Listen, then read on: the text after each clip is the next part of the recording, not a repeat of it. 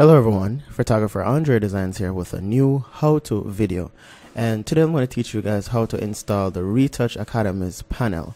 Uh, I have most of you guys asking me how to um, get it and also how to install it. So I'm going to show you guys how to do this right now.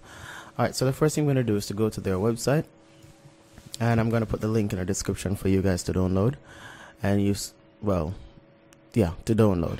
So you scroll down to the website and you'll see right here it says beauty retouch and you click the button that says get. So what you're going to do is to fill out the um, information here. You're going to use your PayPal to place the order and uh, I'm not sure if you can use a credit card but you can use your PayPal and it's for $69 as you can see there.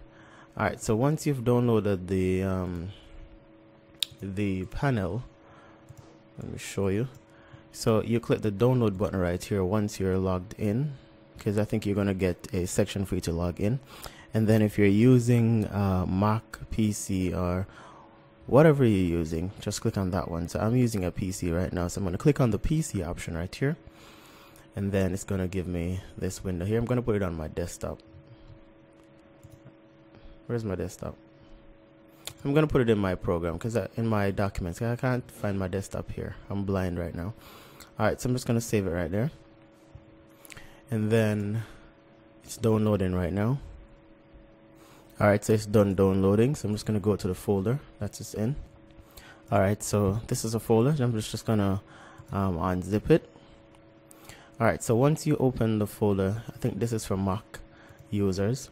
So once you open the folder you're gonna go to the the um, beauty uh, beauty retouch section. And then you're going to go to the installation file. And then this is the file that you want to click on to install it alright? So you're just going to click on double click on it. Then click install. Good. So it's now finished. Alright so where it's going to install it now inside of Photoshop. I would actually recommend that you close Photoshop um, while this process is going on so it's so it will actually automatically import in the section where it should go. So see it says you should please close Adobe um, application before installing. So mine is open so I'm just gonna close it right now. And then I'm gonna install it again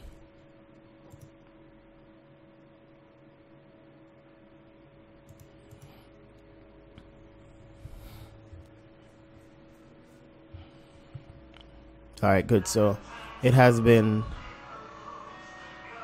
so it's now installed. So what you can do now is just close everything here. If you want to um, get some information like the manual basically which is a good thing to read you can open the manual and it will give you information on how to I mean what the different sections are for and stuff like that you know?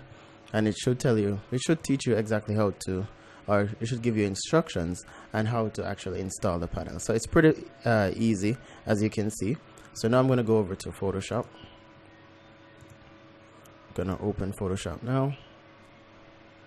Oh and guys I'm not sure if you've been seeing my drone shots but if you want to see my drone uh, photos you can go to my personal uh, Instagram which is um, Andre G Young and you can see some of the drone shots that I did and when I upload my YouTube videos as well there are times I will put it there so you guys can know that um, I've uploaded a new YouTube video. So yeah so you can check that out. All right so I'm gonna close that. So now you're inside of uh, Photoshop. What you're gonna do now is to come here where it says Windows and then you're gonna go to extensions.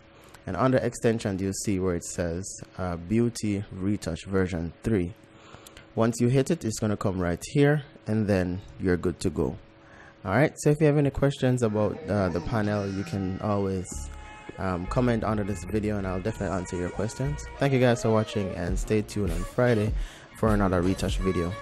Bye bye